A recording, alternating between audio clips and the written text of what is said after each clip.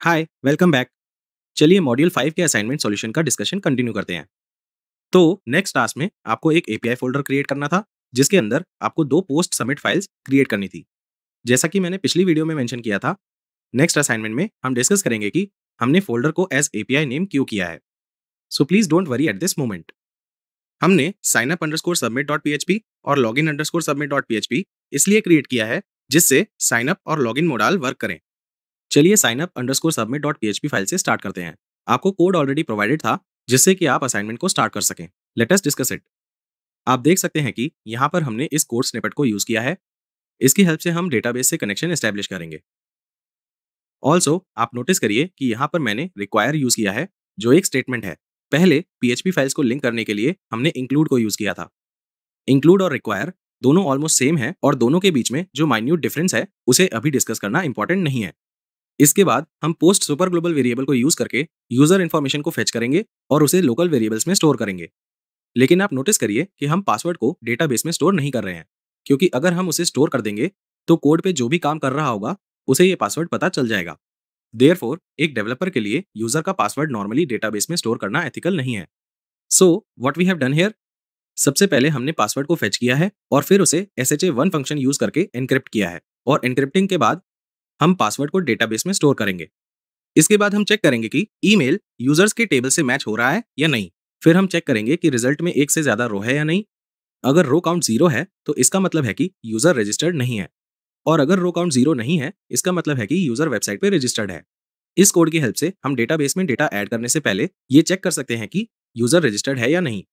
अब, अगर row count zero है तो हम सिर्फ़ तभी आगे प्रोसीड करेंगे और यूज़र इन्फॉर्मेशन को स्टोर करेंगे। फिर हमारे पास ये माई एसक्यूएल क्वेरी है, जो चेक करती है कि अकाउंट सक्सेसफुली क्रिएटेड है या नहीं। फिर होम पेज के लिए एंकर टैग है। ये काफ़ी सिंपल कोड है। हम इसे ऑलरेडी सीख चुके हैं।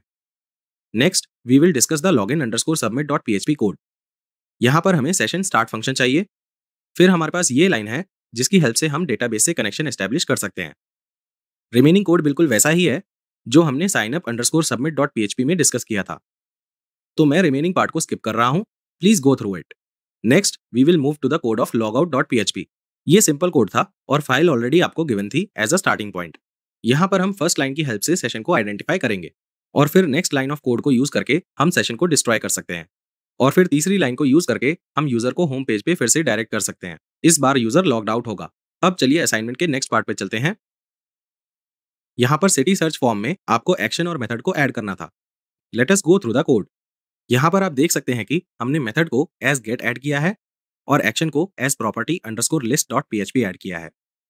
नेक्स्ट पार्ट में आपको सारे एचटीएमएल को पीएचपी फाइल्स में चेंज करना था, ये हम इस वीडियो में पहले ही डिस्कस कर चुके हैं।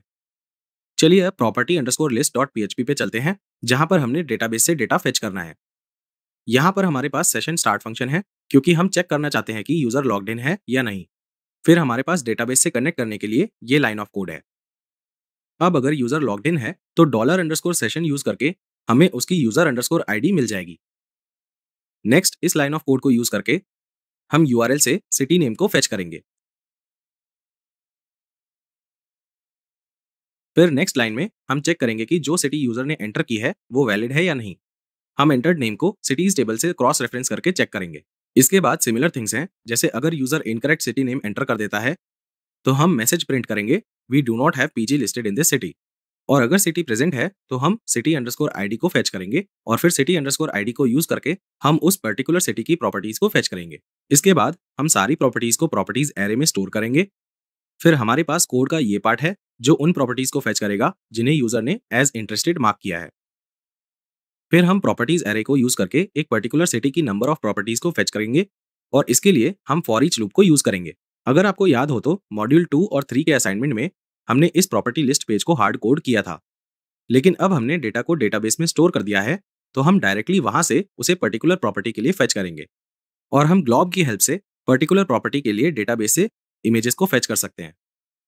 फिर स्टार रेटिंग के लिए हमारे पास फॉर लूप है। Please spend some time in understanding this code अगर आपको ये कोड समझ आ गया तो आप बाकी की पीएचपी फाइल्स के कोड और लॉजिक को भी समझ पाएँगे।